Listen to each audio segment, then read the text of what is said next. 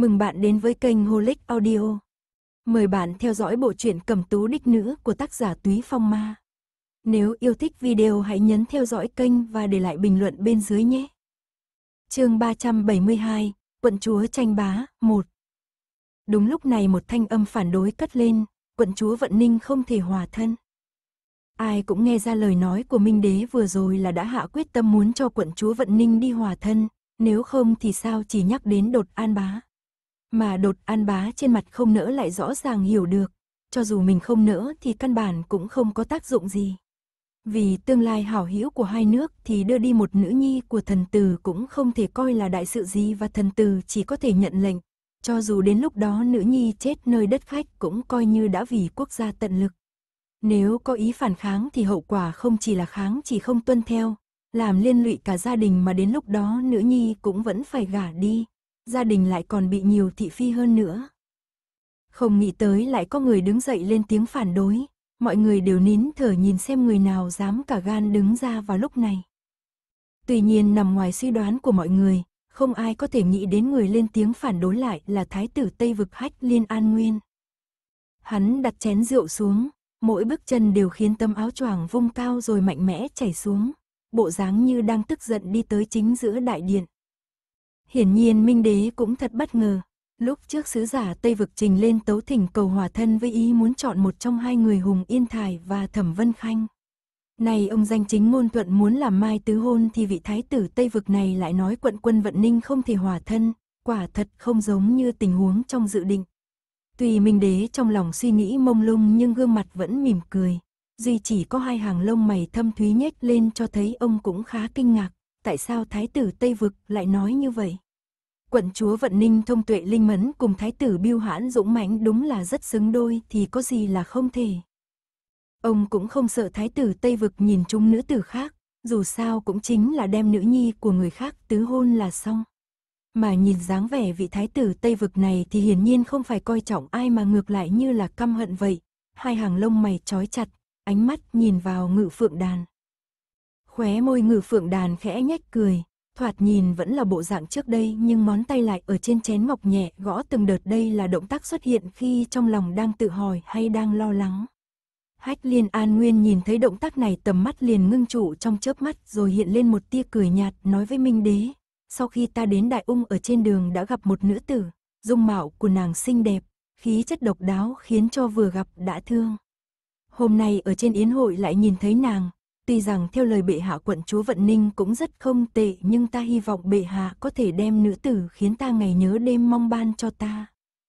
Trên mặt Minh Đế lộ ra vẻ giật mình, ông đã không nghĩ tới việc hách liên an nguyên lại coi trọng một nữ tử khác. Người có khí chất độc đáo có thể vượt qua thẩm vân khanh làm sao không khiến người khác bất ngờ nê liền hỏi, ngươi có biết tên của nàng ta không? Tầm mắt hách liên an nguyên nhìn hướng về một chỗ, khom người nói, nàng chính là người đang ngồi ở bên người Tây Thái Hậu, quận chúa Quý Tuân. Lời của thái tử Tây Vực như một tảng đá lớn pha vỡ mặt hồ yên tĩnh nhưng ngay cả một tiếng bọt nước cũng chưa kịp bắn tung tóe đã bị đóng băng lại càng có vẻ u tĩnh. Tây Thái Hậu nghe được lời của Thái tử Tây Vực thì phản ứng đầu tiên chính là nhìn Minh Đế. Lúc ấy Minh Đế rõ ràng đã nói qua, ý tứ của bên phía Tây Vực chính là chọn một trong hai người là được. Vừa rồi Minh Đế đã có ý chọn quận chúa Vận Ninh thì vì sao Thái tử Tây Vực lại một mực nhắc đến Hùng Yên Thải chứ? Không chỉ Tây Thái Hậu mơ hồ, ngay cả Minh Đế cũng không biết chuyển biến trong nháy mắt này là như thế nào. Ánh mắt ông liếc nhìn sứ thần Tây Vực, chỉ thấy sứ thần Tây Vực đang cười khổ. Hắn cũng không hiểu vì sao thái tử đột nhiên lại nói vậy. Lúc trước đã dùng thư tín bản xong với Minh Đế quyết định quận chúa Vận Ninh là đối tượng hòa thân mà nay thái tử lại tự mình chạy ra chỉ người khác. Đương nhiên sứ thần Tây Vực chẳng qua cảm thấy có chút mất mặt thôi còn đối với hắn thái tử chỉ ai thì đương nhiên chính là người đó. Ngay từ đầu vốn cũng đã nói là chọn một trong hai người mà nay cũng chỉ là chuyển sang người khác trong danh sách nên cũng không có khác biệt gì lớn. Thế nhưng ở trong mắt Tây Thái Hậu và Minh Đế, tuyển chọn quận chúa Quý Thuận thay vì quận chúa Vận Ninh là sự khác biệt rất lớn. Một bên là quận chúa bà nâng niu trong lòng bàn tay nuôi lớn, một bên là một người không quan hệ vừa từ thương nhân biến thành quận chúa nên đương nhiên bọn họ không muốn quận chúa Quý Thuận đi hòa thân. Ánh Phi thấy Vân Khanh sắp bị chỉ hôn ra ngoài nhưng đột nhiên tình huống lại thay đổi. Thái tử Tây Vực yêu cầu đối tượng hòa thân là quận chúa Quý Thuận không như hy vọng của nàng ta, nhưng bây giờ cũng không phải là lúc có thể mở miệng chen vào. Tây vực thái tử đưa ra yêu cầu nếu nàng ta xen vào ớt sẽ thành ra không có quy củ nên đành đem ánh mắt nhìn về phía tiết quốc công. Tiết quốc công nhận thấy ánh mắt của oánh phi đương nhiên sáng tỏ ý của nàng. Lão ta khẽ nhíu mày, ngẩng đầu quan sát sắc mặt Minh Đế thì phát hiện ra tuy Minh Đế bề ngoài tỏ vẻ bình thản nhưng đáy mắt ẩn giấu chút không vui có vẻ như ông cũng không muốn gả công chúa Quý Thuận ra ngoài. Liền mở miệng nói, Thái tử Tây Vực, quận chúa Quý Thuận vừa mới từ Vân Nam Phủ trở về, hôm nay là lần đầu tiên xuất hiện trên điện. Có phải người nhất thời chưa nhận rõ dáng người hay không? Nếu hai nước hòa thân, Thái tử phải tìm người mình thích, ngài có thể đến gần các vị thiên kim trước mặt nhìn thật kỹ để tránh có gì sai sót. Lão ta nói như vậy có ý muốn thái tử Tây Vực nhìn kỹ dung mạo của các nữ quyến thêm một lần nữa, thẩm vân khanh có dung mạo tuyệt sắc huynh thành, có thể vị thái tử Tây Vực này chưa nhìn rõ nên chỉ cần ở cự ly gần chắc chắn sẽ thấy rõ hơn. Nam nhân ai lại không thích sắc đẹp, hai người đều là quận chúa do vậy cưới người đẹp hơn chính là lựa chọn tốt nhất rồi. Hách liên an nguyên vừa nghe lời này nét mặt liền thay đổi tỏ vẻ hứng thú cười nói, biện pháp này không tồi. Minh đế thấy hắn đồng ý liền vẫy tay nói, thái tử cần cẩn thận nhìn, không nên bỏ lỡ người mình thích. Ông đương nhiên cũng giống tiết quốc công hy vọng thái tử Tây Vực có thể coi trọng tiểu thư khác.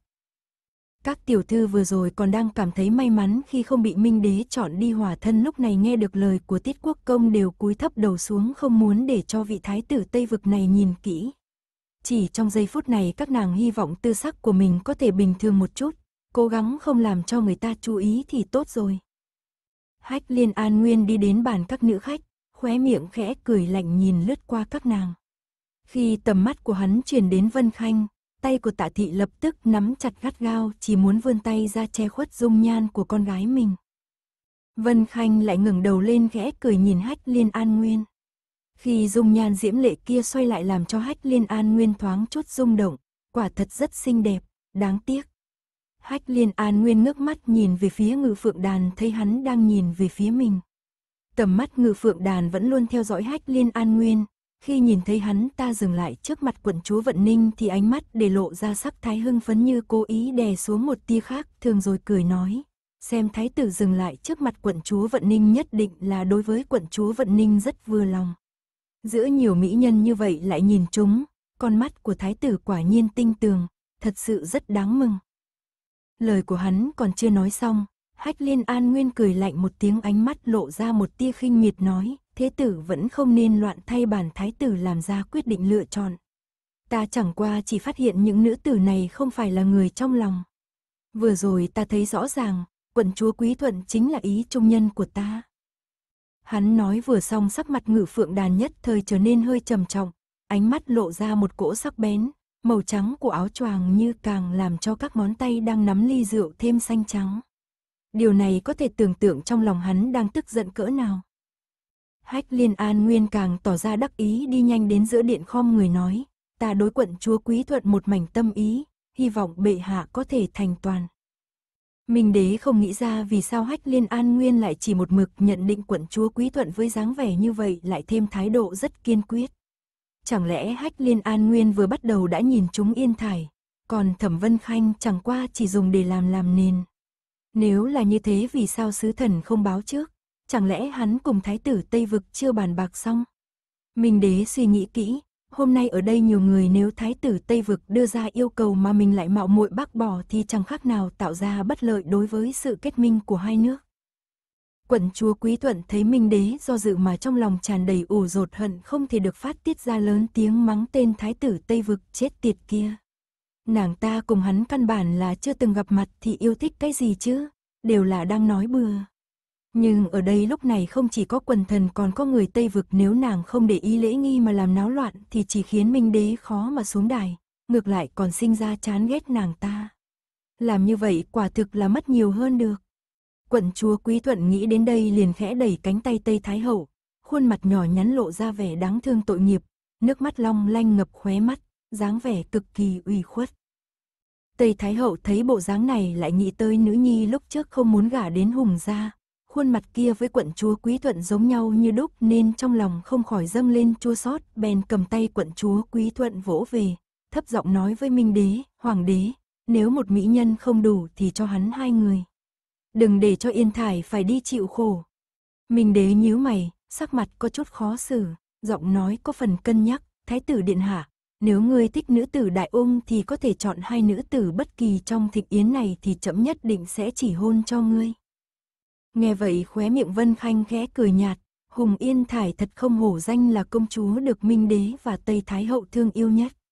Vì nàng ta mà Minh Đế có thể ban thưởng đến hai vị quan viên nữ nhi đang có mặt ở đây. Phải biết rằng có thể đến tham gia thịnh yến thì ít nhất đều là gia quyến và nữ nhi của quan viên đại ung có cấp bậc trên hàng tam phẩm, trong đó rất nhiều người có địa vị trọng yếu trong triều.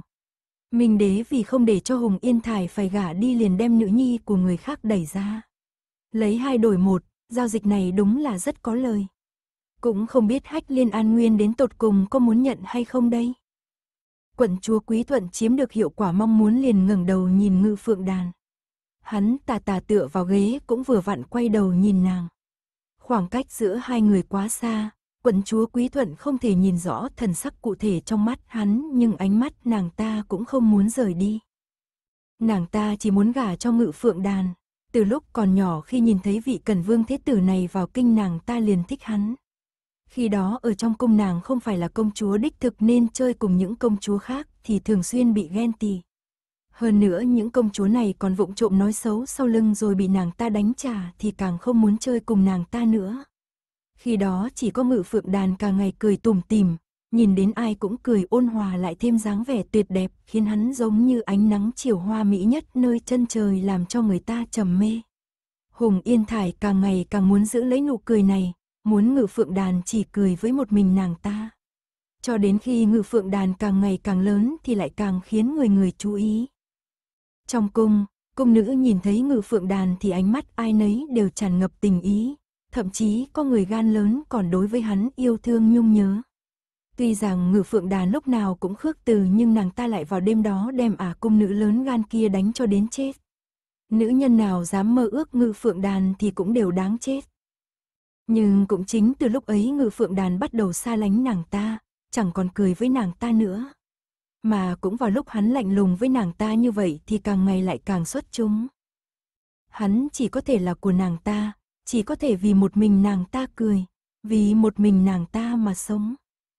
Ánh mắt si tình của quận chúa Quý Thuận cứ chăm chú ngây ngốc nhìn ngự phượng đàn mà không hề nhận thấy hách liên an nguyên đã quan sát chú ý mọi chuyện. Hắn ta thu hồi ánh mắt dùng lời phản bác với ngự khí vô cùng khẳng định nói, không, bệ hạ, ta chỉ vì quận chúa Quý Thuận mà khuyên tâm.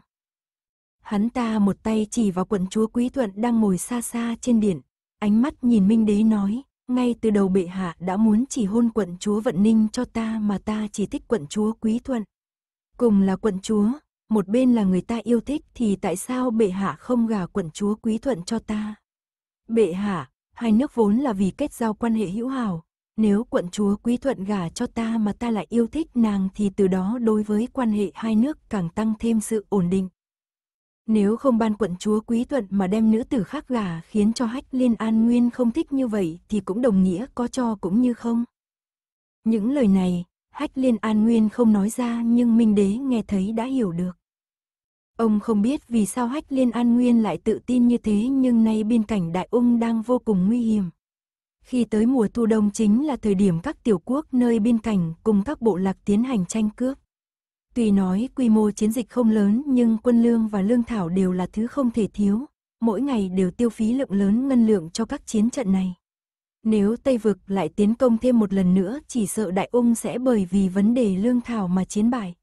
Dù cho tướng lãnh, binh lính có mạnh mẽ đến đâu cũng chống đỡ không nổi ngày tháng không có quần áo và lương thực. Mà Thái tử Tây Vực rõ ràng cũng biết điểm này nếu không cũng sẽ không phái người đến Đại Ung đàm phán. Hách liên an nguyên thấy Minh Đế cứ do dự như thế thì phán đoán trong lòng càng trở nên chắc chắn. Mới vừa rồi khi hắn ở trong đình đã chú ý đến động tác của ngự phượng đàn khi quý thuận quận chúa trước tiên đi tới bên người ngự phượng đàn động tác vô cùng thân thiết trong mắt đều là ái mộ thì cũng chưa rõ lắm. Cho đến khi chuông gió lưu ly trên mái đình đột nhiên rơi xuống, Ngự phượng đàn dường như là xuất phát từ bản năng cứu được quận chúa Quý Thuận mà không hề có chút nào e sợ chính mình sẽ bị mảnh vụn đả thương. Lúc ấy ở đó còn có tứ hoàng tử, ngũ hoàng tử nếu theo lý mà nói thì tính mạng những hoàng tử này còn tôn quý hơn nhưng ngự phượng đàn vì sao lại không đem bọn họ đẩy ra trước. Ngay sau đó khi quận chúa Quý Thuận và ngự phượng đàn nói chuyện, vẻ mặt của ngự phượng đàn vốn là thực kích động nhưng nhận thấy tầm mắt đánh giá của mình lập tức liền thu liễm trở lại bộ dáng vân đạm phong khinh lúc trước. Khi Hách Liên An Nguyên hỏi việc công chúa Quý Thuận vì sao bị giáng xuống làm quận chúa Quý Thuận thì ánh mắt ngự phượng đàn lại lóe ra thần sắc khác lạ rồi nói lảng sang chuyện khác. Tất cả những việc này đều làm Hách Liên An Nguyên nổi lên lòng nghi ngờ vì thế hắn ta cố ý tìm các công nữ và ngự y đang chữa trị vết thương hỏi rõ. Kết quả những người này đều nói quận chúa Quý Thuận và ngự phượng đàn là một đôi bích nhân trong lòng ai cũng rõ. Lần này công chúa Quý Thuận bị giáng xuống làm quận chúa Quý Thuận cũng là bệ đỡ cho việc tứ hôn ngày sau của bọn họ bởi vì hách liên an tố nói đại ung mới ra điều lệ một khi công chúa gả cho phò mã thì phò mã sẽ không thể nhậm chức trong triều. Ngự phượng đàn thân là một tướng quân anh dũng thiện chiến nên đương nhiên hoàng đế luyến tiếc và chỉ có thể linh hoạt tìm cách lấy cớ đem công chúa Quý Thuận giáng xuống làm quận chúa. Dù sao vị công chúa Quý Thuận này cũng không phải là nữ nhi ruột thịt của hoàng đế. Lúc này thấy Minh Đế có bộ dáng do dự, Hách Liên An Nguyên càng thêm khẳng định phỏng đoán của mình. Minh Đế ngay từ đầu chính là muốn quận chúa Quý Thuận và ngự phượng đàn tứ hôn còn ban cho hắn ta chẳng qua cũng chỉ là con gái của một thương mà thôi. Ngự phượng đàn thiên tính rào hoạt, phần lớn đều là dạng hư hư thật thật làm cho người ta khó mà nhìn thấu. Càng là nơi hắn muốn đi thì hắn lại càng biểu hiện rằng mình không muốn đi. Hách liên an nguyên vì thế cũng từng nếm đủ gian khổ trong tay ngự phượng đàn. Vừa rồi hách liên an nguyên còn cố ý thử ngự phượng đàn, khi hắn ta nói đến muốn lấy quận chúa quý thuận, ngự phượng đàn tuy trên mặt thể hiện vẻ bình thản nhưng món tay lại tiết lộ tâm tình thật của hắn. Bởi vì ngự phượng đàn thật sự thích quận chúa quý thuận cho nên hắn mới có thể liên tiếp muốn đẩy quận chúa vận ninh ra mà không muốn khiến người mình yêu mến bị gả ra ngoài.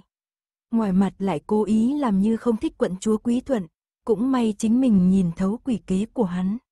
Ngây thơ thiệt. Tuy rằng hai nước muốn ký kết minh ước hữu hảo nhưng giữa Tây Vực và Đại Ung đã bất hòa nhiều năm thì loại tâm lý đối địch này là không có cách nào tiêu trừ. Đặc biệt là ngự phượng đàn. Hách liên an nguyên chỉ cần vừa nghĩ tới ở trên chiến trường đã hai lần bị vị thế tử binh xuất kỳ chiêu này đánh cho tơi bời, chật vật không chịu nổi thì trong lòng lửa giận liền dâng cao hiện tại hai nước không thể khai chiến như vậy hắn ta liền đoạt nữ nhân của ngự phượng đàn. Để cho hắn không được thoải mái cũng coi như là báo thù được một chút rồi. chương 373, quận chúa tranh bá, 2 Trên mặt ngự phượng đàn ẩn chứa một tầng lạnh ý như hoa đào tháng 3 dính chút sương đêm, có vẻ như đã bị hách liên an nguyên chọc tức đến độ giấu không được tâm tình hắn lạnh lùng nói, chẳng qua thái tử chỉ là muốn cưới một quận chúa mà thôi. Ở đây ngoài quận chúa Vận Ninh, quận chúa Quý Thuận thì còn có quận chúa Mộc Vũ, vì sao ngươi không quan tâm một chút? Quận chúa Mộc Vũ vẫn ngồi ở phía dưới thở ơ uống rượu dùng bữa, thỉnh thoảng còn trêu chọc đùa giỡn Phương Bảo Ngọc từ xa. Ai ngờ ngự phượng đàn đột nhiên truyền đề tài đến nàng liền ngẩng đầu nhìn hách liên an nguyên nhíu mày cười. Ánh mắt có chút chiêu tức nói, thái tử, hay là ngươi quan tâm đến ta một chút? Hách liên an nguyên một khi đã đến đại ung hòa thân đương nhiên đối với những đối tượng có thể hòa thân cũng đã tìm hiểu đôi chút. Người đang mặc nam trang, khuôn mặt hơi mang chút anh khí lại ẩn chứa sự thông tuệ lại có phong thái nói chuyện khá hào sảng này chính là nữ nhi duy nhất của Bình Nam Vương quận chúa Mộc Vũ. Bình Nam Vương Phủ đặt tại Vân Nam Phủ, trong tay có 15 vạn quân Mộc gia, ai nấy đều là tinh anh, ở trên chiến trường lấy một địch 10 không phải là thần thoại. Hơn nữa quận chúa Mộc Vũ tuổi nhỏ đã đi theo Bình Nam Vương thao quân, lên chiến trường nên rất quen thuộc binh pháp, võ nghệ siêu quần, nếu thật sự có thể lấy về thì so với lấy quận chúa Quý Thuận để chiêu tức ngự phượng đàn thì có lợi hơn rất nhiều. Lúc này trên mặt hách liên an nguyên liền lộ ra thần sắc mừng rỡ vô cùng, chắp tay nói, nghe danh quận chúa Mộc Vũ đã lâu mà hôm nay mới gặp. Nếu quận chúa đã mở kim khẩu muốn ta quan tâm một chút thì ta nhất định không thể bác bỏ hảo ý xin bệ hạ chọn ra một người giữa quận chúa Mộc Vụ và quận chúa Quý Thuận để làm thái tử phi của ta. Minh đế tuy rằng thích Hùng Yên Thải nhưng đây là trong thường ngày còn một khi dính dáng đến lợi ích, hơn nữa lại còn liên quan đến lợi ích của Đại Ung Triều thì Hùng Yên Thải chẳng qua cũng chỉ là một nữ tử mà thôi. So với Hùng Yên Thải với chức quận chúa hữu danh vô thực này thì quận chúa Mộc Vụ là người thừa kế đời sau của Bình Nam Vương Phủ và cũng là thống lĩnh đời sau tiếp quản 15 vạn quân Mộc gia nên nếu đem quận chúa Mộc Vụ gả đi, vậy thì 15 vạn quân Mộc gia nên xử trí như thế nào? Quân Mộc gia chỉ nhận thức người Mộc gia, còn những người khác đều không nghe theo. Muốn cho bọn họ đi theo quận chúa Mộc Vụ đến Tây Vực điều này Minh Đế tuyệt đối sẽ không cho phép nhưng nếu để cho quân mộc ra toàn bộ giải tán thì ông càng cảm thấy đau lòng. Vân Nam vẫn là nơi rối ren có nhiều bất ổn, dưới sự thống trị của Bình Nam Vương thì đến nay mọi chuyện đều an ổn. Nếu mạo muội khiến Bình Nam Vương phủ xảy ra chuyện gì ngoài ý muốn thì trước hết chính là đi ngược tổ huấn. Thứ hai nếu Vân Nam nổi lên bạo loạn thì sẽ khiến ông càng thêm nhiều phiền não. Minh đế trong đầu so sánh một lúc đành thở dài, Hách Liên An Nguyên chắc chắn đã muốn quận chúa Quý Thuận vậy thì tứ hôn đi. Từ một góc độ khác mà nói, Hách Liên An Nguyên bề ngoài anh Tuấn, xuất thân bất phàm, ở Tây Vực Quốc có được thực quyền cũng không phải là một nhân vật bù nhìn.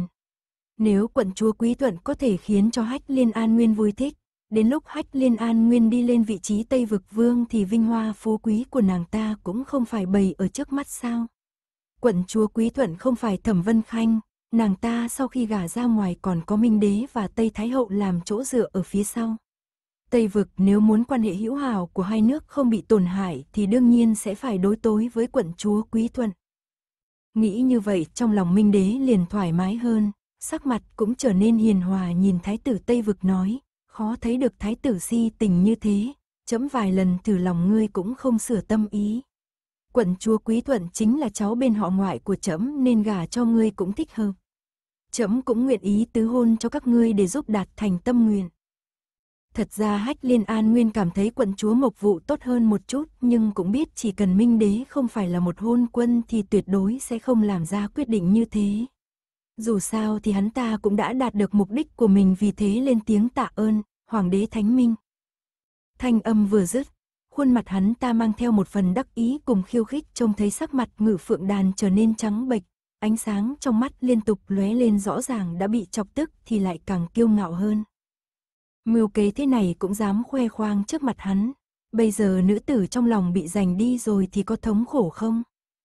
Hách liên an nguyên xài bước trở về vị trí ngồi xuống, bưng lên chén rượu được cung nhân rót đầy uống một hơi cạn sạch rồi quay đầu nói với hách liên an tố, lục đệ, biện pháp chọn thái tử phi này của ngươi quả thật không tệ. Hắn vỗ vai hách liên an tố, miệng cười vui vẻ. Vừa mới chọn thì đã chọn chúng nữ nhân ngự phượng đàn thích. Ha ha, quận chúa Quý Thuận không dám tin nhìn Minh Đế, chưa từng nghĩ tới kết quả lại là như vậy. Tây Thái Hậu nét mặt lo lắng nhưng cũng khó mở miệng nói với Nhi Tử. Dù sao vừa rồi bà cũng đã nhìn thấy bộ dáng của Hách Liên An Nguyên vô cùng khẳng định. So sánh giữa đế vị của Nhi Tử với tiền đồ của Hùng Yên Thải thì đương nhiên đế vị sẽ quan trọng hơn. Tuy vậy Tây Thái Hậu cũng hiểu rõ tính tình của quận chúa Quý Thuận nên đưa tay nắm chặt bàn tay quận chúa Quý Thuận an ủi, yên thải. Ai ra cảm thấy thái tử Tây Vực đối với ngươi cũng là thiệt tình. Vân Khanh nghe Minh Đế tứ hôn thì trong lòng âm thầm bật cười, nhìn thoáng qua gương mặt vẫn đang căng thẳng của ngự phượng đàn và dáng vẻ đắc ý tạ ơn của hách liên an nguyên. Nếu lúc này mà cười thì thật sự không nên chút nào, nhưng nàng đúng là rất muốn véo ngự phượng đàn một cái. Hắn thật sự là rất biết diễn xuất. Ngự phượng đàn và nàng đều có suy nghĩ giống nhau. Vào lúc quận chúa Mộc Vụ xuất hiện rồi cả lúc đài chủ kia xuất hiện thì liền phát hiện có chỗ quái gì. Sau đó trải qua một phen điều tra của ngự phượng đàn thì đúng như bọn họ nghĩ. Nước Tây Vực phái người đến hỏa thân và phía sau màn này là sứ thần Tây Vực đã đem hai người Hùng Yên Thải, Thẩm Vân Khanh đưa vào danh sách ứng cử. Dựa theo tính cách của Minh Đế, Vân Khanh nhất định sẽ trở thành người được chọn đi hòa thân, tiếp đó Thái Hậu lại triệu nàng tiến cung thì càng chứng minh cho điều này. Tuy nhiên ngự phượng đàn đối với vị hách liên an nguyên từng cùng nhau giao thủ trên chiến trường thì vô cùng hiểu rõ. Hắn ta từ khi được sinh ra đến bây giờ vẫn thường xuyên được truy phong mà ít phải chịu đả kích nên tự cho là rất thông minh, có chút thành công vĩ đại. Mặc dù hắn ta cũng có chút đầu óc tính toán nhưng cũng dễ dàng bị ý nghĩ của chính mình thuyết phục bởi luôn cho rằng mình là người thông minh nhất trên đời. Vậy mà ở trong chiến trận Tây Vực hắn ta lại bị ngự phượng đàn đả kích nên cảm thấy đó là vũ nhục nghiêm trọng nhất trong đời và vẫn canh cánh trong lòng muốn báo thù. Ngự phượng đàn chính là lợi dụng tâm lý này của hắn ta đã trình diễn trước mắt hắn ta một màn chuông gió lưu ly đột nhiên vỡ vụn, thế tử xả thân cứu quận chúa lại khuyên mãi. Thêm vẻ mặt có chút che giấu, ý tứ hàm xúc không rõ. Còn về phần ngự y cùng cung nữ và những người khác thì căn bản không cần ngự phượng đàn động thêm tay chân vì vào lúc công chúa Quý Thuận bị giáng xuống làm quận chúa thì hầu hết mọi người đều biết ý tứ của Minh Đế nên tự nhiên sẽ nói hai người bọn họ đang chờ tứ hôn. Sau đó lúc ở yến hội ngự phượng đàn lại hợp thời nắm chặt cái chén một chút, sắc mặt căng thẳng một hồi. Khi hách liên an nguyên nhìn thấy thì điều này chính là sự tức giận, phẫn nộ. Cuối cùng thêm vào thân phận của quận chúa Mộc Vụ trợ giúp nên tuy Minh Đế không muốn cho phép thì cũng buộc phải đồng ý thôi. Lúc bắt đầu hách liên an nguyên chỉ nhận thức quận chúa Quý Thuận, Minh Đế có thể nói nhìn thêm những người khác. Nhưng đến khi hách liên an nguyên thật sự nhìn chúng người khác, hắn ta đề nghị giữa quận chúa Mộc Vụ và quận chúa Quý Thuận tùy ý chọn ai cũng được, thì Minh Đế có thể cự tuyệt một lần nhưng không thể tiếp tục cự tuyệt thêm một lần nữa. Tây vực đến hòa thân, người ta chỉ có một thái tử mà ngươi ai cũng không ban tặng thì rõ ràng là không có thành ý. Sau khi cân nhắc kỹ lưỡng thì Minh Đế khẳng định sẽ chọn người mang lại lợi ích ít hơn đó chính là quận chúa Quý Thuận. Nàng nhớ tới kỹ năng diễn xuất thiên tài của ngự phượng đàn thì khóe miệng không khỏi khẽ mỉm cười ánh mắt hướng về phía hắn nhìn xem có phải hắn vẫn giữ dáng vẻ đóng kịch kia hay không thì vừa hay phát hiện ngự phượng đàn vẫn tỏ ra có bộ dáng căng thẳng. Chỉ khi phát hiện Vân Khanh đang nhìn hắn thì khẽ cười, chớp chớp đôi mắt, trong con ngươi hẹp dài cũng ẩn giấu ý cười như muốn nói, ngươi xem đi, ta nói hách liên an nguyên rất dễ lừa mà. Vân Khanh lập tức bị chọc cười phải hơi cúi đầu che giấu sau đó ngẩng lên nhìn phản ứng của quận chúa Quý Thuận. Vị quận chúa cao cao tại thượng này nhất định không bao giờ nghĩ tới đêm nay cuối cùng người bị tứ hôn sẽ là nàng ta. Chắc chắn Hùng Yên Thải một lòng chỉ muốn nàng sớm một chút cút đi hòa thân nhưng sự thật không được như trong suy nghĩ của nàng ta rồi. Nhưng khi Vân Khanh nhìn đến nàng ta, trái ngược với suy nghĩ cho rằng quận chúa Quý Thuận sẽ phẫn nộ, sẽ phát tiết, thậm chí còn muốn phản kháng thì lại chỉ thấy quận chúa Quý Thuận vẫn như thường ngày, vô cùng ngây thơ cười với Tây Thái Hậu, không có việc gì, ngoại tổ mẫu, con biết, con hiểu mà. Bệ hạ cũng là vì quan hệ hai nước mới đáp ứng thôi. Nàng ta nói như vậy làm Tây Thái Hậu vô cùng cảm động, khen là đứa bé ngoan hiểu chuyện. Ngay cả Minh Đế cũng cảm thấy có chút áy náy nên thầm nghĩ đến khi nàng ta xuất giá nhất định phải thêm vài dương hồi môn để cho quận chúa Quý Thuận gả đi vui vẻ, thuận lợi. Chỉ là Vân Khanh cũng không quá tin tưởng vị quận chúa Quý Thuận này. Người có thể đem Lâm chân đánh đến hai năm sau mỗi khi nhìn đến nàng ta còn cả người rét run thế mà vào lúc bị tứ hôn hòa thân còn có thể thong dong ôn hòa như vậy. Đây quả thực chính là thay đổi thành người khác rồi. Nếu không phải trước đó đã thấy qua sự mạnh mẽ ngoan độc huy kiếm giết người của nàng ta thì có lẽ chỉ đơn thuần nhìn dáng vẻ của quận chúa Quý Thuận lúc này cũng sẽ cảm thấy đúng là hình mẫu hiền lương dịu dàng, vô cùng nhu thuận.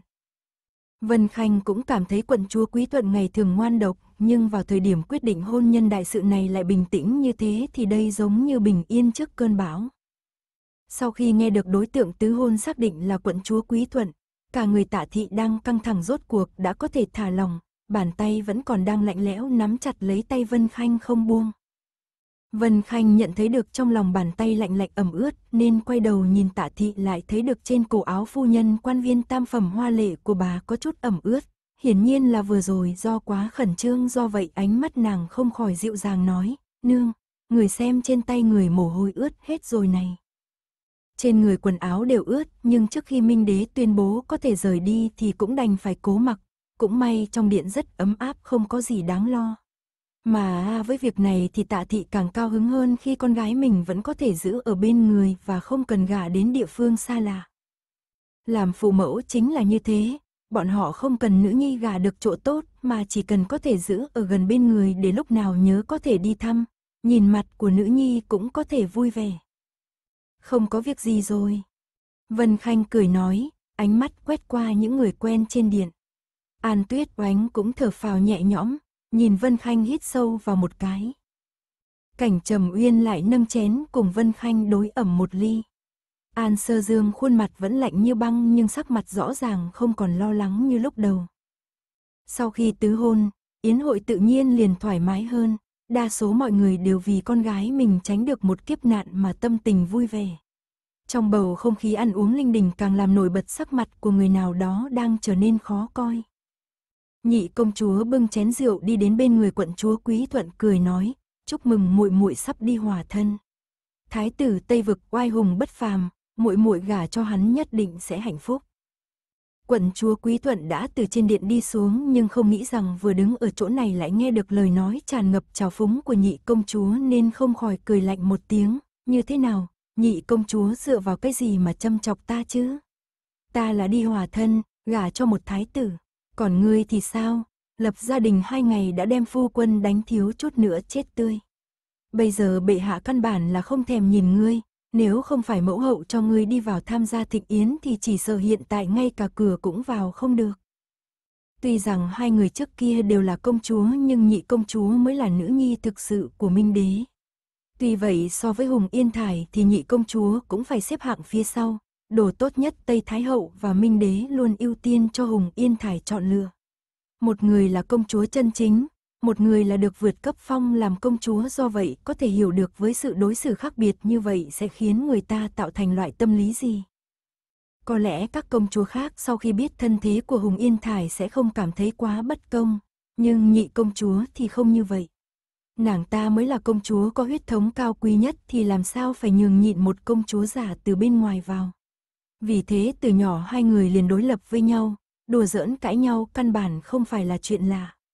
Nhị công chúa còn xúi dục những người khác không chơi với Hùng Yên Thải, nói Hùng Yên Thải là đứa nhỏ không cha không mẹ. Cho đến một lần Hùng Yên Thải đem con gái của thần tử vừa mắng nàng ta xô thẳng xuống hồ thiếu chút nữa chết đuối thì về sau không còn người nào dám nói xấu trước mặt nàng ta nữa. Nhưng quan hệ giữa nhị công chúa và Hùng Yên Thải vẫn còn rất nhiều chuyện không hợp. Ước chừng là thuộc loại ngươi có ta cũng muốn có, nếu không tranh đến có thể phân biệt thắng thua thì sẽ không cam tâm. Kỳ diệu là hai người ở phương diện thưởng thức nam nhân không có chung nhận định, đây cũng coi như là may mắn của cảnh hữu thần. Nhị công chúa bị quận chúa quý thuận châm chọc, trên trán nhất thời lại xuất hiện nếp nhăn rồi tức giận nói, phụ hoàng không phải không để ý tới ta. Là do người quá bận, người đừng vội nói bậy. Quận chúa quý thuận nhìn dáng vẻ vừa bị chọc liền giận của nàng ta thì khẽ hừ nhẹ khinh thương cười lạnh nói, bệ hạ làm sao bận việc chứ? Người rốt cuộc có bao nhiêu việc mà hiện tại lại ở đây cùng các đại thần uống rượu. Sao người cũng chưa cùng nữ nhi như ngươi nói được một câu đây? Ngươi là đồ ngu xuẩn. Sau hôm tân hôn đã đem phò mã của mình đánh trọng thương làm cho tấu trương của ngự sử liên tục trình lên tay bệ hạ nói người không biết giáo dục con gái để nhị công chúa tàn bạo bất nhân khiến người tức giận muốn chết. Chẳng lẽ ngươi không biết? Ngươi không biết hoàng hậu vì dạy dỗ ra một nữ nhi như ngươi mà vẫn luôn ở chữ tú cung phản tình, sám hối, Sao? Nếu ngươi không phải là con gái của hoàng hậu, hừ. Quận chúa quý tuận hừ một tiếng không buồn nói câu kế tiếp bởi vì nhị công chúa đã bị chọc tức đến mức mặt đỏ cả lên. Nàng ta gần đây luôn bị bài xích, lúc trình bái thiếp tiến cung thì phụ hoàng không thèm gặp, mẫu hậu cũng không muốn, thậm chí ngay cả tứ đệ cũng không thèm gặp. Nàng ta đã hoàn toàn bị cô lập, đi tới chỗ nào cũng có người chỉ trò. Nhị công chúa muốn động thủ chỉnh người nhưng phát hiện người khác căn bản là không sợ nàng. Nếu không có minh đế, hoàng hậu che chở thì công chúa và dân thường không khác gì nhau. Nàng ta cả ngày ở trong phòng nghe lời ma ma cố gắng tỏ ra có chút quy củ, chờ đến khi lời ra tiếng vào bên ngoài tiêu tán một ít thì mẫu hậu cũng sẽ gặp thôi. Cũng do nguyên nhân như vậy nên cảnh hữu thần càng lên mặt, mấy ngày qua đều không đến phòng của nàng ta. Khi nàng ta vừa nổi cáu lên liền đi mắng chửi người khác thì nào ngờ cảnh hữu thần lại còn tát nàng ta một cái. Bị chọc cho nổi giận nên nhị công chúa cũng không cần biết cái gì là ngự sử nữa liền xoay người đánh nhau với cảnh hữu thần. Tuy rằng không bị tổn hại gì nhưng đây là lần đầu tiên sau tân hôn nàng ta bị đánh. Cảnh hữu thần xuống tay cũng không hề khoan nhượng, đánh nàng ta vài cái tát rồi còn mắng là người đàn bà chanh chua. Nếu là trước kia thì làm gì cảnh hữu thần dám làm như thế? Hắn chỉ có thể tới lấy lòng nàng chứ nào đâu có dám động thủ. Nghĩ đến đây nhị công chúa không khỏi nổi giận sung thiên muốn động thủ với quận chúa Quý Thuận nhưng lại chợt nhớ ra nơi này là yến hội nên cánh tay đang muốn nâng lên liền thu trở về, gầm nhẹ nói, người nói ta vậy còn ngươi thì sao, thích ngự phượng đàn lâu như vậy nhưng không phải cũng bị đưa đi hòa thân. Giả thì vẫn là giả, cho dù ngươi được phong công chúa nhưng thực chất chính là quận chúa, có thể giống một công chúa thật sự hay sao? Ta tuy rằng không được hoan nghênh nhưng người ta gả là người trong lòng ta, mỗi ngày cùng hắn ở chung một chỗ. Người thì có thể sao? Người phải đi lấy thái tử Tây vực xa lạ, đến chỗ chỉ có sa mạc, sau này không cần nói tới việc muốn nhìn ngự phượng đàn mà ngay cả có thể về nước hay không cũng là một vấn đề. Lời nói của nhị công chúa vô cùng ngoan độc, mỗi một câu đều là nói chúng tâm sự của quận chúa Quý Thuận. Đúng vậy, nàng ta thích ngự phượng đàn, ngay từ nhỏ đã thích. Nhưng giờ đây nàng không có gả cho hắn mà ngược lại phải gả cho một thái tử phế vật, phải dọn đến ở phương xa ngàn dặm nên đáy mắt nàng ta cũng đột nhiên tràn ngập lo lắng. Nhìn dáng vẻ này của nàng ta thì nhị công chúa rất là vui vẻ, dám mắng nàng ư. Ai cũng hiểu rõ chẳng qua không nói. Nàng cũng học dáng vẻ cười lạnh vừa rồi của quận chúa Quý Thuận hừ nhẹ nói. Ta nếu là ngươi thì ngay lúc nãy đã nhảy ra làm lớn chuyện, sống chết gì cũng không gả cho tên thái tử Tây Vực. Hoàng tổ mẫu và phụ hoàng thích ngươi như vậy, nếu ngươi làm náo lên thì họ cũng sẽ không ép ngươi phải gả ra ngoài. Nhị công chúa lúc ấy ngồi nhìn đã cảm thấy quận chúa Quý Thuận không hề biết cách tận dụng lợi thế. Nếu là nàng thì đã sớm náo lớn làm cho việc tứ hôn này không thể nào khác tiếp tục tiến hành. Đúng là quá ngu ngốc, ngươi cho là ai cũng giống như ngươi sao? Quận chúa Quý Thuận nhìn nhị công chúa liếc mắt xem thường. Con công chúa ngu xuẩn này đến bây giờ còn không phát hiện ra mình bị minh đế và hoàng hậu ghét bỏ ở điểm gì. Ngu như vậy, cũng may mắn là sinh ra trong hoàng gia. Nếu lúc ấy trong tình huống đó mà nàng nhảy ra gây chuyện thì mới thực sự là ngu như heo. Ngươi cho là ai cũng giống ngươi sao, phải gây lớn chuyện khiến ai ai cũng ghét như ngươi mới là đúng sao. Quận chúa Quý Thuận thật sự không chịu nổi dáng vẻ ngu ngốc của nhị công chúa liền không buồn nhìn nữa, chuyển ánh mắt sang chỗ khác. Vừa vặn thấy Vân Khanh và Lâm Chân, An Tuyết oánh đang cười vui vẻ. Nụ cười kia chói mắt giống như hồng mai trong đêm tuyết đâm vào hai mắt quận chúa Quý Thuận cơ hồ muốn rơi lệ. Thẩm Vân Khanh, người nên đi hòa thân là ngươi, là ngươi. Ta tuyệt đối sẽ không thay thế ngươi đi hòa thân. Ngươi nói đi, bài thơ lúc ấy đúng là do ngoại tổ mẫu ngươi viết à?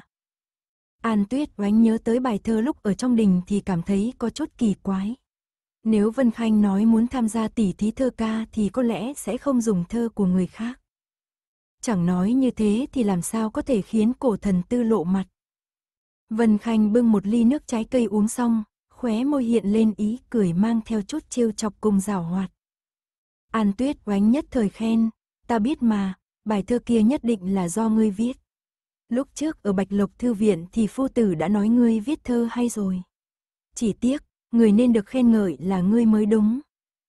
Lúc ấy mọi người chung quanh đều khen ngợi bài thơ không dứt, nếu biết là Vân Khanh viết thì chắc chắn sau khi kinh sợ ngây người qua đi thì về sau bọn họ đều không dám coi khinh Vân Khanh nữa. Muốn cái thanh danh kia làm cái gì, ngược lại càng mệt. Hơn nữa ta cũng không thích cái danh dự kia. Về thơ ca là do kiếp trước thường xuyên buồn bực ở trong nhà đối nguyệt ngâm thơ mà ra. Kiếp này tinh lực của nàng đều đặt trên những thứ hữu dụng thực tế như học thêm y thuật, xem thêm sách sử.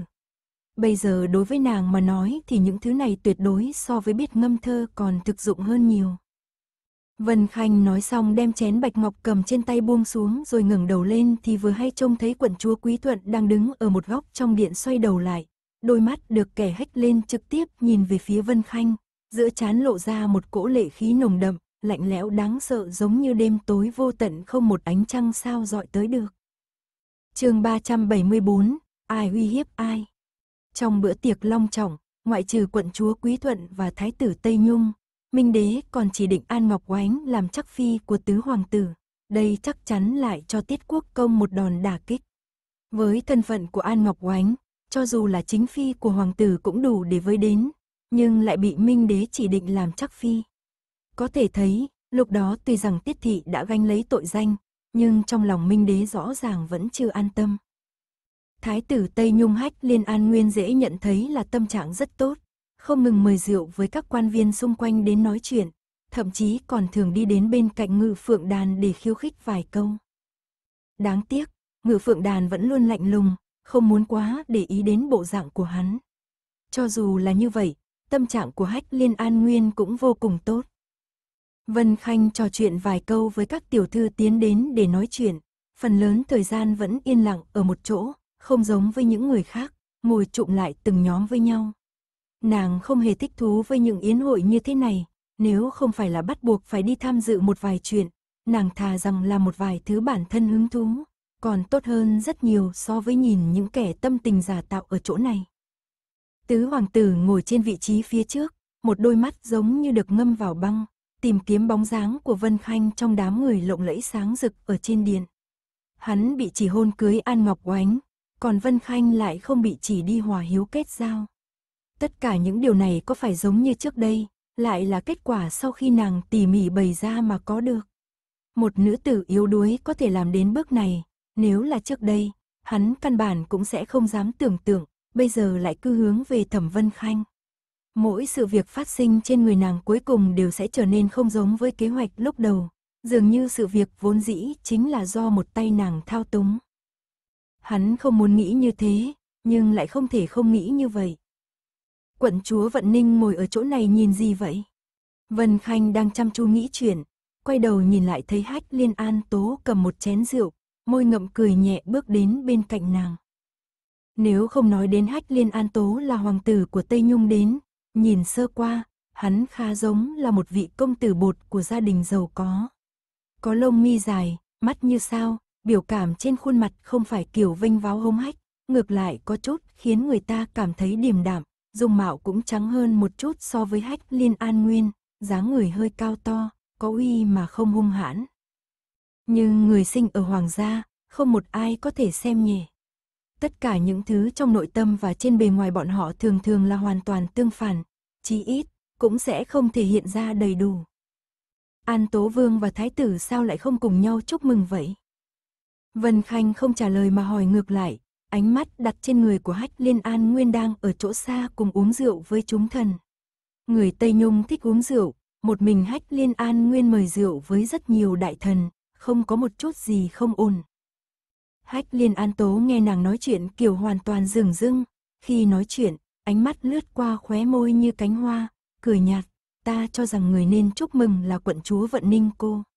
Nếu không phải là Cẩn Vương Thế Tử cố ý thể hiện ra sự quan tâm đối với quận chúa Quý Thuận, Hoàng huynh ta tuyệt đối sẽ không yêu cầu cưới vị quận chúa kia. Dù sao quận chúa Vận Ninh cũng xinh đẹp tuyệt trần, nam nhân có mắt đều sẽ tròn. Lúc hắn nói chuyện, đôi mắt đều nhìn Vân Khanh, bắt đầu từ trong đình, cho đến trên điện, sự chú ý của hắn vẫn luôn ở trên người ngự phượng đàn. Mãi đến khi Hách Liên An Nguyên đột nhiên đứng dậy, lúc yêu cầu đổi người được chọn hòa hiếu kết thân thành quận chúa Quý Thuận, hắn cảm thấy đây là một cái bẫy. Cuối cùng quả nhiên đã nhìn thấy sự trao đổi ánh mắt giữa Ngự Phượng Đàn và Thẩm Vân Khanh, tuy rằng không có gì đặc biệt, nhưng trực giác của hắn nói với hắn, trong này không đơn giản. Vân Khanh nhìn hắn, sớm đã biết An Tố Vương này đến đây tìm nàng nói chuyện sẽ không phải là cảm thấy thoải mái khi nàng không được chọn làm Thái tử Phi Tây Nhung, quả nhiên vừa mở miệng đã nhắc đến. Nhưng trên khuôn mặt nàng không xuất hiện sự hoảng hốt như hách liên an tố tường. Hai mắt bình tĩnh, thậm chí còn chứa đựng một chút ý cười thanh nhã nhẹ nhàng, thoáng nghiêng đầu, lộ ra góc nghiêng tuyệt đẹp, khẽ mở cánh môi nói, nếu An Tố Vương đã khẳng định như vậy, tại sao không trực tiếp đi nói với Thái tử Điện Hạ thế? May là An Tố Vương đã chuẩn bị xong tâm lý, đại khái cũng chỉ nghĩ đến là nàng sẽ phủ nhận, sẽ uy hiếp, sẽ kinh ngạc, lại không nên là trả lời như thế này. Sự gió nhẹ mây bay như thế, giống như trả lời câu hỏi kiểu cảm thấy hoa này có đẹp không? Vậy, hắn nói theo bản năng, lẽ nào cô không sợ ta đi nói với Hoàng Huynh? Lúc này, bầu không khí trong điện đang náo nhiệt, mọi người đều giao lưu, nói chuyện với nhau, tiếng nói chuyện của hai người bọn họ vừa phải, rất nhanh chóng hòa vào trong tiếng huyên náo, trên khuôn mặt hai người đều hiện ra nét cười, nhìn xa sẽ chỉ cảm thấy Hách Liên An Tố đang nói chuyện khách khí với quận chúa Vận Ninh, sẽ không nghĩ tới trên thực tế hai người đang tiến hành một trận giao chiến về tâm lý. Hách Liên An Tố nhìn Vân Khanh, trên khuôn mặt xinh đẹp của nàng nhìn không ra một chút hoàng hốt, giống như những lời hắn vừa mới nói không có một chút quan hệ nào với nàng. Thật là không giống với người thường. Trong lòng hách liên an tố lại đánh giá Vân Khanh thêm một câu. Từ trong việc so tài thơ trong nhà thủy tả, sao, đã nhìn ra, nàng không phải là một nữ tử giống như bề ngoài yếu đuối không chỗ dựa. Trước khi bị cổ tiểu thư ăn cắp thơ ca, nàng đã làm xong cách xử lý để ứng phó với mọi tình huống đột ngột xảy ra. Lúc bị đổ oan, lấy ra chứng cứ một cách thong thả không vội vàng, chọc thủng quỷ kế.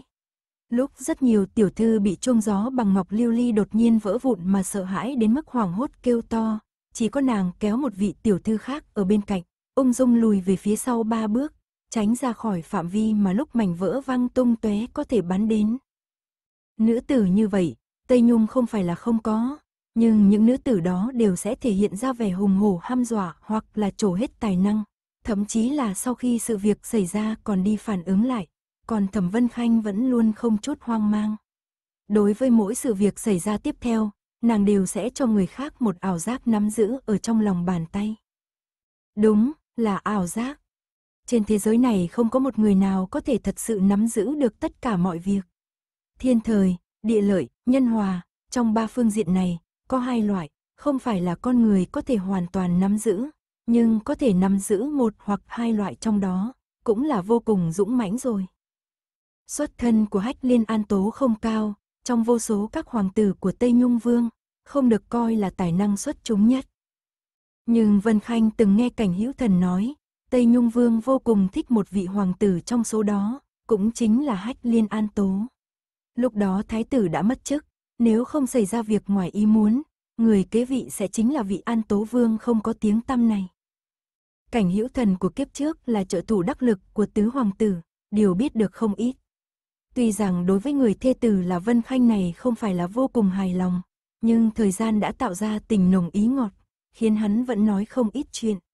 Nhưng, lúc đó cho dù hắn có nói nhiều hơn nữa, Vân Khanh cũng không hứng thú với thế cục giữa các quốc gia với nhau. May mà lúc đó, bởi vì có tình cảm với cảnh hữu thần, nên nàng luôn vô cùng chú ý đến mỗi câu mà hắn từng nói, bây giờ xem ra cũng không tính là chuyện không hay. Căn cứ hiện tại để xem, Hách Liên An Tố vẫn luôn diễn vai vương tử tay sai đắc lực của Hách Liên An Nguyên, chỉ sợ bây giờ Tây Nhung Vương vẫn không có sự yêu thích đặc biệt nào đối với đứa con trai này. Phân tích như vậy, vị Hách Liên An Tố này vẫn là kẻ làm ra vẻ yếu ớt rồi sau đó phản kích lại.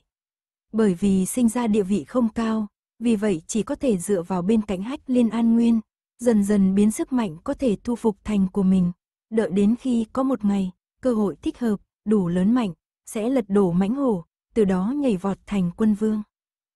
Phân tích chuẩn xác đối thủ mới có thể khiến bản thân nằm ở thế chủ động. Vân Khanh cười một cách lạnh nhạt, sợ, đương nhiên là vậy. Trong miệng nàng nói sợ hãi, lại khiến hách liên an tố có một cảm giác quái dị nói không ra được, không biết thiếu nữ trước mặt tiếp theo sau có thêm một câu nữa hay không. Quả nhiên, dừng một lát, Vân Khanh nói, nhưng An Tố Vương, người sẽ không đi nói với Thái tử Điện Hạ, đúng không? Câu nói này lại vượt ra ngoài kế hoạch của Hách Liên An Tố, ngón tay hắn bất giác nắm lại, khẽ cúi đầu che giấu đi thần sắc kinh ngạc trong mắt, liên tiếp vì những lời một thiếu nữ nói mà kinh ngạc, có chút vượt ra khỏi bất ngờ của hắn. Nhưng đây cũng chỉ là trong giây phút ngắn ngủi, lúc ngẩng đầu, Hách Liên An Tố vẫn là hoàng tử tràn đầy sự nhã nhặn đó, cô khẳng định như thế. Đương nhiên, nếu An Tố Vương người muốn nhắc nhở thái tử, thì sớm đã nói rồi, cần gì phải đợi sau khi bệ hạ ban hôn lại đi nói với ta chứ. Có lẽ An Tố Vương trước khi đến Đại Ung đã điều tra rất nhiều rồi, ta ở Kinh Thành có địa vị gì, người kỳ thực đã vô cùng rõ ràng. Tuy rằng Phong là một quận chúa, nhưng làm sao so sánh được với quận chúa Quý Thuận do bệ hạ đích thân đưa vào trong cung nuôi nấng trưởng thành đó chứ. Với tình hữu nghị yên ổn của hai nước mà nói, một người quận chúa không có thực quyền và một người quận chúa được hưởng sự sủng ái của bệ hạ Đại Ung và Tây Thái Hậu. An Tố Vương đương nhiên hy vọng Thái tử Điện Hạ có thể lấy một quận chúa thực sự bảo vệ và duy trì được sự cân bằng giữa hai nước chứ. Vân Khanh nói xong, bưng chén trà bạch ngọc đã nhấp một ngụm ở trong tay lên, bóng mờ do lông mi dài trên mặt tỏa xuống, dường như muốn che phủ chiếc chén ngọc màu trắng mà trong suốt. Hách liên an tố chỉ cười nhạt, dường như có chút hứng thú với những lời nói này của nàng. lý do này của quận chúa cũng coi là nói đúng. Nhưng người đại diện hòa hiếu kết giao giữa hai nước, bất luận như thế nào, Tây Nhung cũng sẽ đối đãi tốt với nàng ấy. Bất luận trước kia nàng ấy có thân phận gì, sau khi gả đến Tây Nhung, chính là thái tử phi của Tây Nhung, điểm này sẽ không có bất kỳ khác biệt gì. Ta không muốn vì điểm này mà đi che giấu Hoàng Huynh. Lúc nãy không nói, chỉ là do ta vẫn chưa quyết định. Hắn cũng không phủ nhận quan điểm mà Vân Khanh nói, đối với đối tượng hòa hiếu kết giao, thân phận cao quý một chút đương nhiên là có lợi. Nhưng càng bởi vì câu nói này, Vân Khanh chắc chắn một điểm, An Tố Vương. Nếu người thật sự chắc chắn điểm này, là ta bày ra rồi dẫn đến, cuối cùng khiến thái tử thay đổi, lựa chọn quận chúa quý thuận, người hẳn là không muốn ta gả cho thái tử điện hạ rồi. Trong đôi mắt trong suốt, nàng cười nhẹ, hách liên an tố nhìn thấy ánh mắt chính mình ngưng tụ lại lần nữa. Giây phút đó, trong đáy lòng dường như có cảm giác bị người khác nhìn thấu, lên tiếng nói, tại sao cô lại nghĩ như vậy? Một thoáng này, con ngươi của hắn bắn ra một ánh sáng cực kỳ sắc bén, đại khái lúc bản thân vẫn chưa ý thức được liền biến mất dưới sự yên lặng. Vân Khanh lơ đễnh nói, An Tố Vương cũng không phải là vật trong ao, lần này đi sứ Đại Ung, mọi thứ đều là Thái tử Điện Hạ làm chủ, tất cả mọi thứ đều là nghe theo sự sắp xếp của hắn. Cùng là hoàng tử, bởi vì xuất thân của người không cao mà bị chìm trong mọi người. Cùng là con trai của Tây Nhung Vương, tại sao chỉ bởi vì người sinh ra từ trong bụng của một người khác mà phải chịu sự khinh thường. Không ai chú ý đến người, không ai thật sự coi người là hoàng tử để đối xử. Xuất thân cao quý này không hề mang lại cho người cuộc sống cao quý. Người mê muội trong cực khổ, thậm chí vùng vẫy, cuối cùng phát hiện ra, chỉ có nhờ cậy vào người khác, mới có thể khiến Tây Nhung Vương tìm ra người. Cuối cùng người đã lựa chọn thái tử, người có địa vị rất cao nhưng đầu óc chưa chắc là thông minh nhất. Người tiếp cận hắn, vì hắn mà bày mưu tính kế, tiêu trừ sự hoài nghi của hắn, trở thành người mà hắn tin tưởng nhất.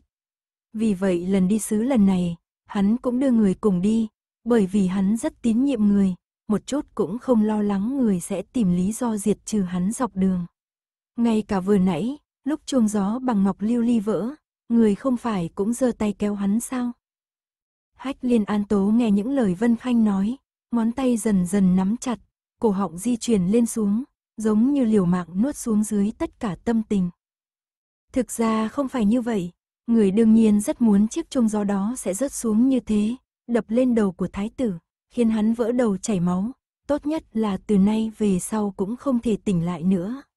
Nhưng người không thể làm như vậy, bởi vì nếu hắn xảy ra chuyện, vị hoàng tử đi cùng đến như người nhất định sẽ phải chịu tội, vương hậu nhất định sẽ không bỏ qua cho người. Vì vậy tự đáy lòng người do dự trong chớp mắt, cuối cùng lựa chọn kéo thái tử ra ngoài. Cứ như thế này, hắn sẽ càng tín nhiệm người, người lại càng thêm cảm thấy không cam lòng. Mọi thứ người làm bao nhiêu năm nay đều là vì vị trí cao nhất đó, nhưng tại sao thái tử không bằng người đó, vừa sinh ra thì cái gì cũng có, cho dù dẫn binh thất bại ê chề với đại ung, cũng vẫn yên ổn ngồi ở vị trí này. Người sẽ không để hắn lấy được một thê tử thông minh, một thê tử thật sự sẽ giúp đỡ hắn, nhưng trên thực tế sẽ không có bất cứ sự giúp đỡ nào. Bởi vì người sớm đã biết quận chúa Quý Thuận một lòng si tình với ngự phượng đàn, tính cách lại hung ác bá đạo, lấy nữ tử như vậy về, đối với nam nhân mà nói, là một con ngựa hoang khó điều khiển, có chút không thuận lợi thì sẽ đem lửa đốt lên người. Trong ánh mắt của Hách Liên An tố lộ ra một luồng phẫn hận mơ hồ, đốt ngón tay từ xanh chuyển thành trắng, lộ ra màu sắc giống như chết chóc, giọng nói như thú vật nghẹn ngào, trầm thấp đáng sợ, quận chúa Vận Ninh thật biết bịa chuyện. Vân Khanh nghe vậy, cúi đầu cười nhẹ nhàng, khuôn mặt trắng tinh tựa như bông hoa ngọc lan đẹp nhất, An Tố Vương cảm thấy câu chuyện này cũng không tồi chứ. Người biết không, nếu là ta bị đưa đi làm thái tử phi, nếu người đã đến xứ lạ, hơn nữa đằng sau ta lại không có lá chắn đầy đủ để bảo vệ ta, có lẽ sẽ một lòng một dạ giúp đỡ thái tử điện hạ, khiến địa vị của bản thân mình ở trong mắt hắn càng ngày càng quan trọng, đợi hắn có một ngày ngồi lên vị trí trí cao vô thượng, ta cũng có thể có một góc nhỏ đó. Nàng không thèm tin là Hách Liên An Tố thật sự coi đây là một câu chuyện, sự đấu đá hoàng quyền, ở hoàng thất của một quốc gia nào cũng không thể tránh được. Hách Liên An Tố thân ở trong đó sẽ không thể bình yên tránh được. Cho dù hắn ngoan ngoãn hơn nữa, cũng không che giấu được bản tính, huống hồ lúc ở nhà thủy tạ Hoàng Nguyệt, Vân Khanh đã nhìn rõ hành động của hắn. Khuôn mặt của hách liên an tố không trầm tĩnh nữa, mặt mày hắn lúc này kinh sợ, lộ ra vài phần lệ khí, thoạt nhìn lại có một phần giống với hách liên an nguyên, sự không cam lòng đang nhô ra thì bị che giấu đó. Trong giọng nói tràn đầy sự gợi mở nhẹ nhàng của người thiếu nữ rốt cuộc cũng nổi ra hai điểm trên khuôn mặt. Hắn cắn chặt hàm răng, nhìn chằm chằm Vân Khanh một hồi, sau một lúc lâu mới mở miệng nói, cô quả thật rất thông minh, nhưng cô không biết, người quá thông minh thường chết rất sớm sao? An Tố Vương, người đây là uy hiếp ta sao? Sắc mặt của Vân Khanh bỗng nhiên cũng thay đổi, từ mỉm cười lúc nãy trở thành mang theo một nỗi buồn, đôi mắt lộ ra thần sắc kinh ngạc, lúc nói chuyện, cánh môi hơi động, nhưng từng câu từng chữ vẫn rất rõ ràng. Người hôm nay nói chuyện với ta ở chỗ này, đã quá thời gian một khắc, không ít người trên đại điện nhìn thấy. Nếu theo những lời An Tố Vương nói, người thế tử Cần Vương thực sự để ý là ta, người nói xem, nếu sau chỗ này, ta xảy ra chuyện, trước tiên, tất cả mọi người sẽ nghĩ đến ai? Nhất định là An Tố Vương người. Vậy cũng không chắc. Hách liên An Tố phản bác. Vân Khanh không để ý đến hắn, tiếp tục nói, Đại ung có câu nói là, không phải người cùng tộc, nên tâm tính họ sẽ không giống ta. Người, một hoàng tử đi sứ, giết hại một vị quận chúa trong đất nước ta, cho dù là vì bộ mặt của thiên tử, đến lúc đó, bệ hạ nước ta cũng sẽ không dễ dàng bỏ qua. Hách liên an tố nghe những lời Vân Khanh nói, nàng nói không sai. Lúc này, hắn đã hiểu rõ vì sao sắc mặt của Thẩm Vân Khanh phải thay đổi đến mức giống như lo âu và bối rối. Bởi vì ở đây đã có ánh mắt của vài người đều tập trung đến, một trong số đó vô cùng rõ ràng, chính là lạnh ý trong đôi mắt hẹp dài từ từ đi ra, xuyên qua giữa mọi người đi đến, không chút giảm thiểu sát ý khát máu trong đó, thậm chí còn có mấy vị hoa y công tử, ánh mắt cũng dừng lại chỗ này, sự chú ý trong ánh mắt không ít hơn so với thế tử Cẩn Vương. Xem ra quận chúa Vận Ninh này không hề đơn giản, thê thảm không có thế lực như những gì bề ngoài nhìn thấy.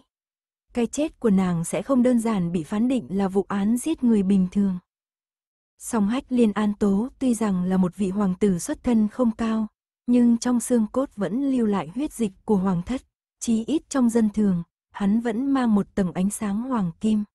Lúc này bị Vân Khanh uy hiếp như vậy, trong lòng hắn rõ ràng rất khó chịu, sắc mặt lộ ra sự chán nản, theo ta được biết, Đại Ung và Tây Nhung liên minh không chỉ là vì hòa bình, lương thảo của các người có thể theo kịp sao?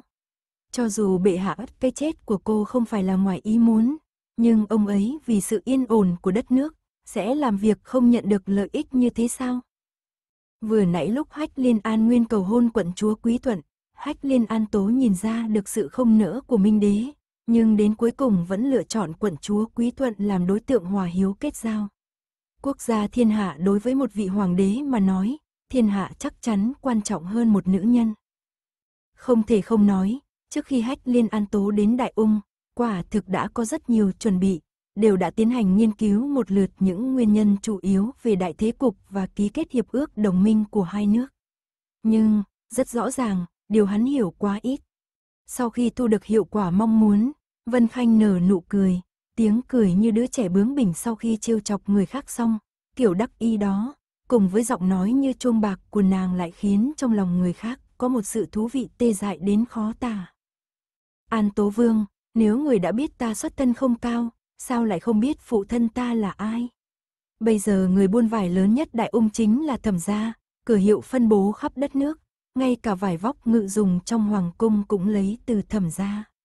Tuy rằng không nói là cực kỳ giàu có, nhưng nếu người biết ta là con gái duy nhất của thẩm gia, người sẽ hiểu được, khi phụ thân ta biết con gái của ông ấy chết trong tay người nào, lại bởi vì nguyên nhân gì mà chết, ông ấy e rằng có thể dốc hết tất cả, hỗ trợ quân tư sao. Lúc đó, không biết Tây Nhung Vương và Thái tử sẽ nghĩ thế nào về đứa con trai và đệ đệ là người đây. Rõ ràng là chọn làm người đi hòa hiếu kết giao, cuối cùng lại giết một vị quận chúa của nước đối phương. Hành động thế này rốt cuộc là cầu hòa hay là dẫn địch đây? Ta nghĩ An Tố Vương có lẽ hiểu rõ lợi hại trong này, không cần ta nói rõ lại nữa chứ. Quân đội của Tây Nhung tiêu hao không ít trong chiến dịch hàng năm, cộng thêm sự truy kích như muốn diệt tận gốc của ngự phượng đàn, gần như tổn thất hơn một nửa tinh binh.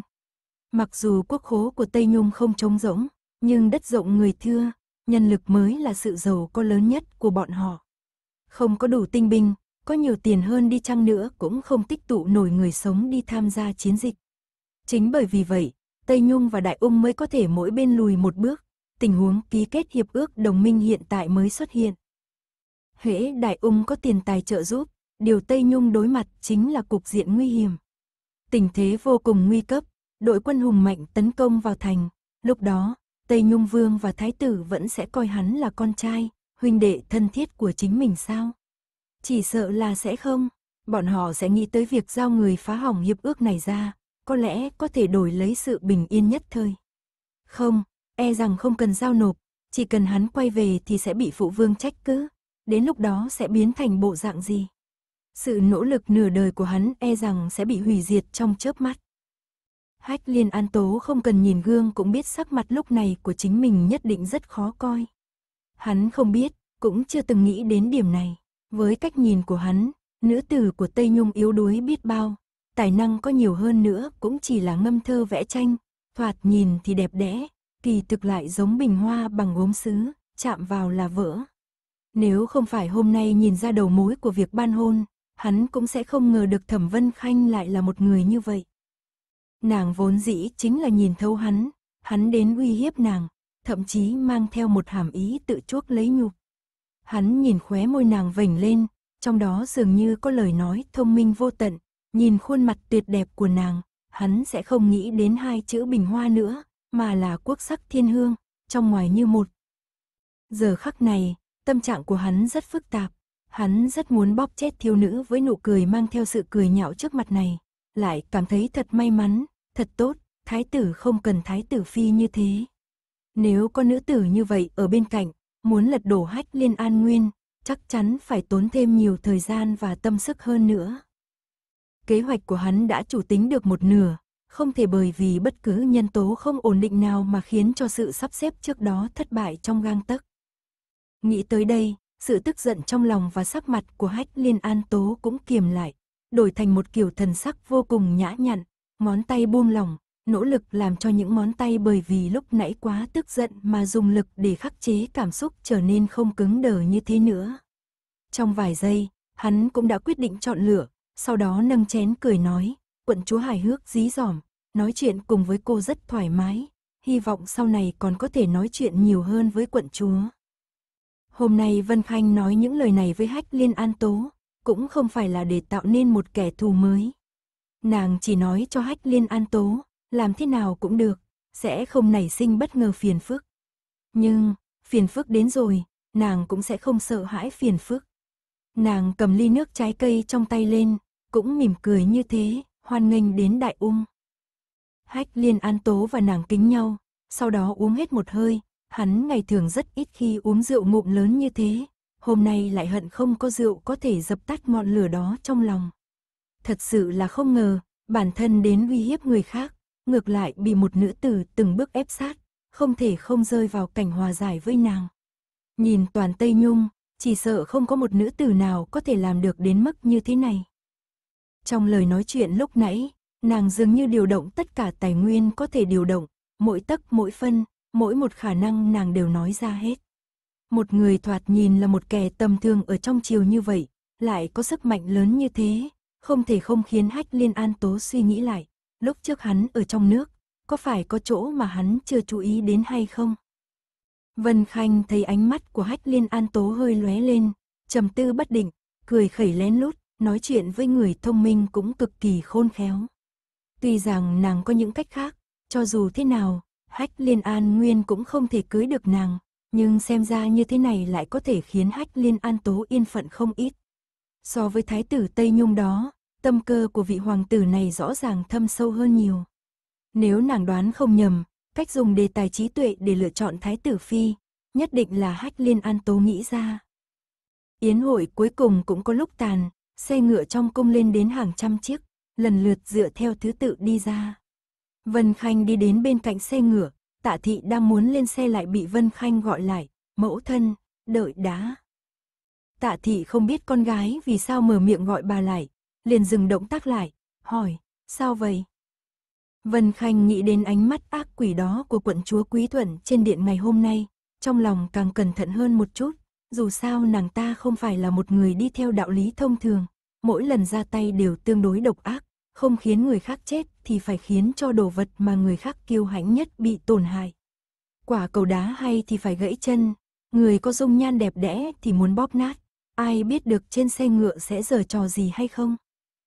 Các người lần lượt kiểm tra xe ngựa trước. Vân Khanh ôm suy nghĩ thận trọng, giận dò nói. Đại tiểu thư, trước khi xe ngựa rời khỏi nhà, nô tài đã kiểm tra ở trong phủ rồi. Phu xe có chút nghi hoặc nói. Các người vẫn luôn ở bên cạnh xe ngựa chứ? Vân Khanh không nói nữa mà là chuyển hỏi hai người phu xe, đáy mắt lộ ra ánh sáng khiến phu xe không dám trả lời lung tung. Bẩm đại tiểu thư, hai người chúng nô tài đã từng rời khỏi một khoảng thời gian.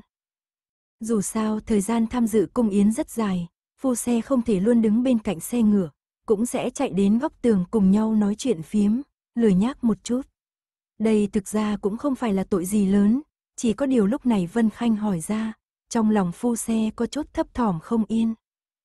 Vân Khanh cũng không truy cứu chuyện này, nhưng nàng cũng sẽ không giải thích đầu đuôi sự việc với phu xe. Nếu đã như vậy thì kiểm tra lại một chút, tránh để xảy ra chuyện gì.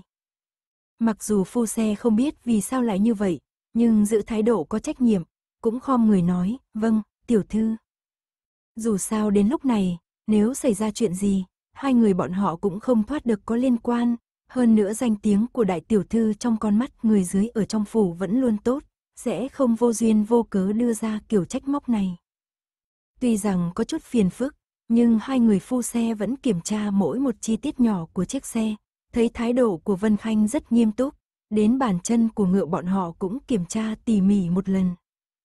Tạ thị ở bên nhìn, có chút kỳ lạ, nhưng lại cảm thấy làm như thế này là cần thiết.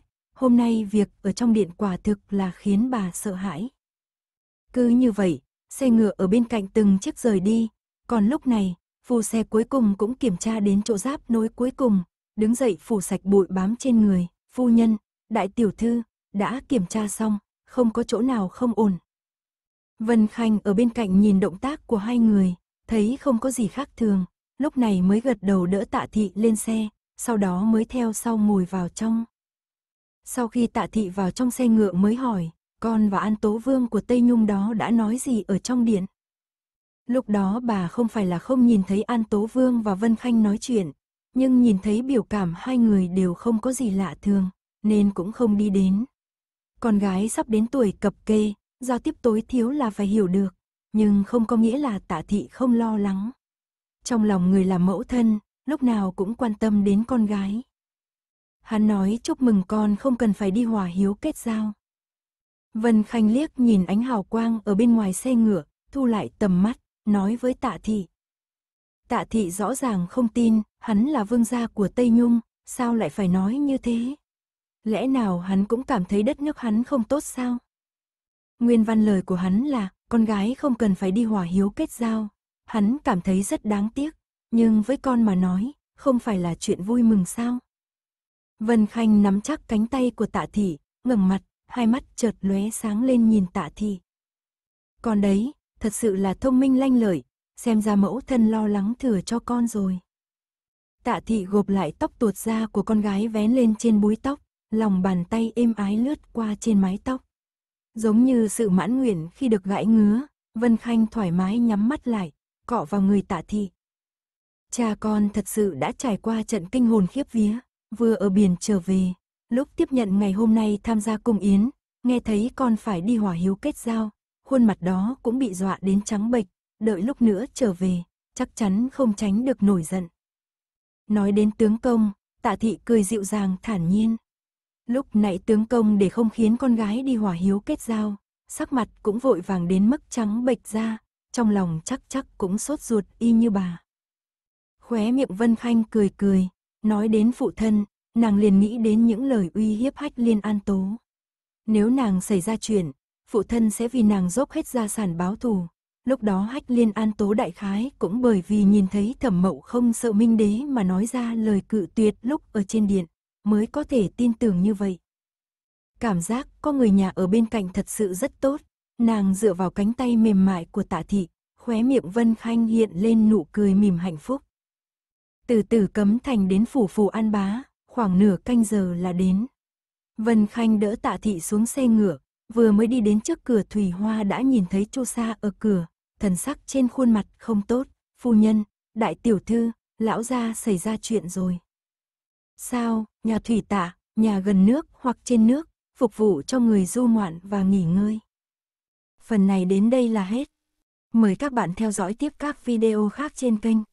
Nếu các bạn yêu thích kênh, hãy nhấn theo dõi nhé. Cảm ơn các bạn.